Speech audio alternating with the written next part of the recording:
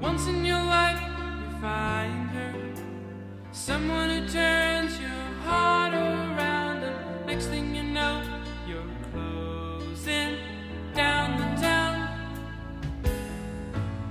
Wake up and it's still with you. Even though you left your way across town. Wondering to